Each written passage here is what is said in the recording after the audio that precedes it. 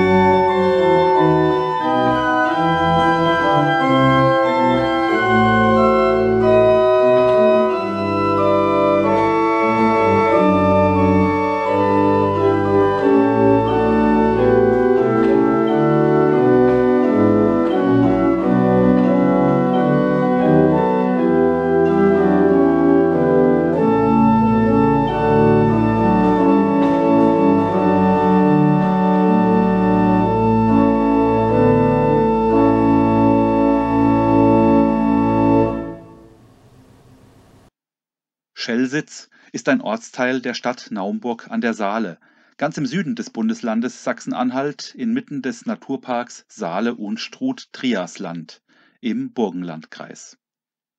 Der an drei Seiten von der Saale umgebene Ort liegt idyllisch am Nordufer des Flusses gegenüber der Mündung der Wetau, drei Kilometer östlich von Naumburg.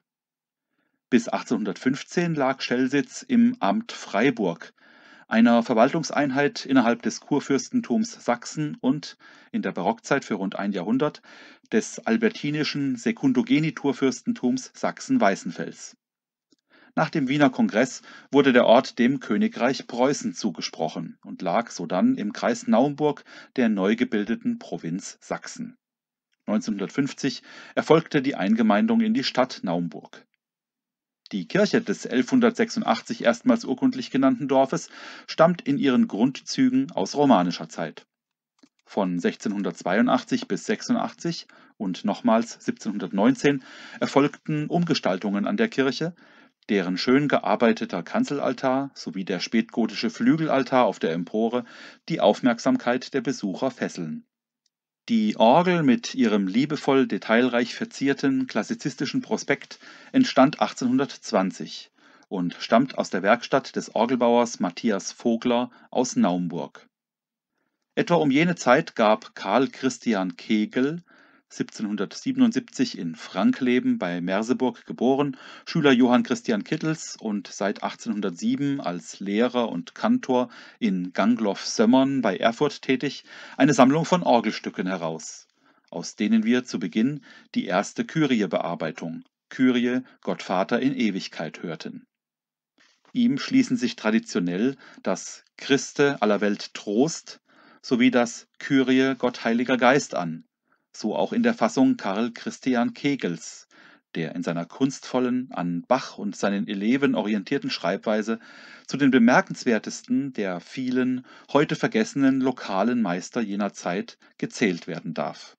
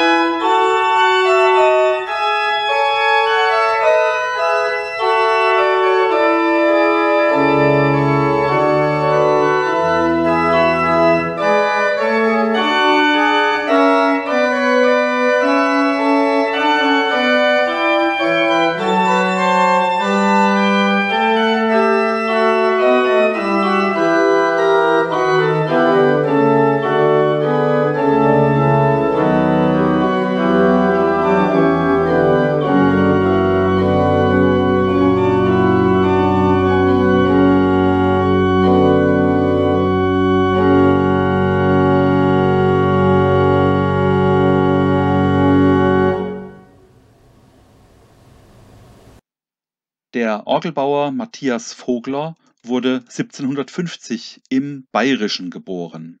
Wo er sein Handwerk erlernte, ist nicht überliefert. Man kann aber davon ausgehen, dass er als Geselle bei dem Leipziger Universitätsorgelmacher Johann Gottlob Mauer gearbeitet hat, bevor er sich um 1780 selbstständig machte. Als Mauer nämlich 1780 Hals über Kopf aus Leipzig floh, sein Unternehmen war in Konkurs geraten und er versuchte in Russland einen Neuanfang, brachte dessen Geselle und Nachfolger als Universitätsorgelmacher, Gottlob Göttlich, den von Mauer begonnenen Umbau der Orgel im Wurzener Dom gemeinsam mit Matthias Vogler zu Ende. Und noch 1804 erhielt Vogler den Auftrag, die ebenfalls von Mauer begonnene und nicht vollendete Orgel in Zweimen im heutigen Saalekreis fertigzustellen. Matthias Vogler hatte sich in Naumburg niedergelassen und geheiratet, aber offenbar kein Bürgerrecht erworben, denn dieses wird nur für seine aus Pegau stammende Frau Johanna Rosina Mönch verzeichnet. Seine erste eigene Orgel schuf er 1785 für Plenschütz bei Teuchern und in den folgenden 30 Jahren entstanden 13 weitere Instrumente, mit wenigen Ausnahmen alle im engeren Umkreis von Naumburg. Und auch in Naumburg selbst finden wir Vogler im Dom und an der berühmten Hildebrandorgel der Wenzelskirche bei der Arbeit. Erhalten blieben etwa die zweimanualige 1789 vollendete Orgel in Niedertrebra bei Bad Sulza im thüringischen Landkreis Weimarer Land, die ebenfalls zweimanualige 1806 vollendete Orgel in der Stadtkirche zu Schildau nordöstlich von Torgau und zwei nicht weniger schöne einmanualige Orgeln in Doten bei Schkölen im Saale-Holzlandkreis von 1812 und in Auerstedt bei Bad Sulza von 1818 die aus dem dem Braunkohletagebau zum Opfer gefallenen Dorfe Döbris bei Zeitz stammt. Die 1820 vollendete zweimanualige Orgel in Schellsitz ist das letzte Werk des mittlerweile 70-Jährigen, in der er noch einmal seine ganze Kunst in reifster Form zur Entfaltung bringen konnte. Danach setzte sich Matthias Vogler in Naumburg zur Ruhe, wo er 1829 verstarb. Das Schaffen von Matthias Vogler fällt in eine Zeit des Übergangs. Barocker Glanz und Farbigkeit verbinden sich mit sanften, empfindsamen Klängen zu einer Melange von großem Reiz.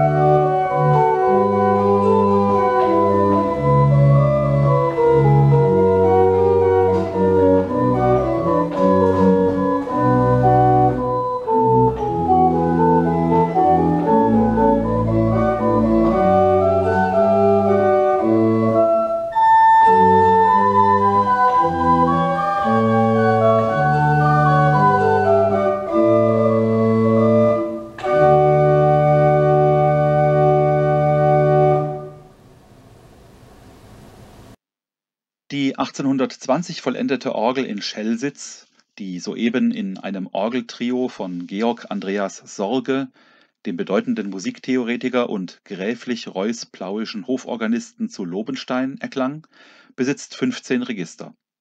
Das Hauptwerk mit einem Umfang bis zum drei gestrichenen D besitzt zunächst einen klassischen, auf dem Achtfuß aufgebauten Prinzipalchor, der über die Oktaven Vier- und Zweifuß nebst Quinta Dreifuß lückenlos nach oben wächst und von einer vierfachen Mixtur bekrönt und von einem ebenfalls vierfachen Kornett charakteristisch gefärbt wird.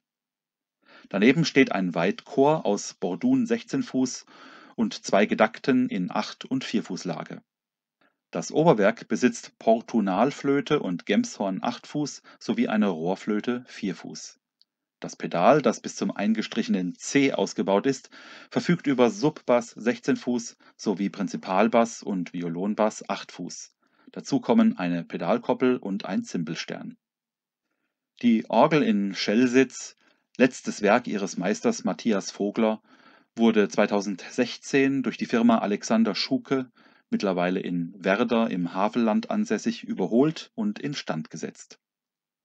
Hören wir abschließend ein Stück des 1738 in Hannover geborenen Friedrich Wilhelm Herschel, der als Soldat der kurhannoverschen Fußgarde im Siebenjährigen Krieg nach England kam und sich dort zunächst als Dirigent und Organist in Bath in der Grafschaft Somerset niederließ. Herschel hatte die mathematische Musiktheorie gründlich studiert und wandte sich sodann verstärkt der ebenfalls stark mathematisch basierten Astronomie zu. 1781 entdeckte Herschel den Planeten Uranus, was ihn schlagartig in der ganzen Welt berühmt machte. Seit 1793 britischer Staatsbürger und 1816 zum Ritter geschlagen, ist das musikalische Schaffen von Sir William Herschel weitgehend in Vergessenheit geraten, zu dem unter anderem 24 Sinfonien für Orchester, zahlreiche Konzerte für Soloinstrumente sowie mindestens 24 Orgelsonaten und über 40 Voluntaries zählen, wie sie die englische Organistenwelt nicht erst seit Händel schätzte und kultivierte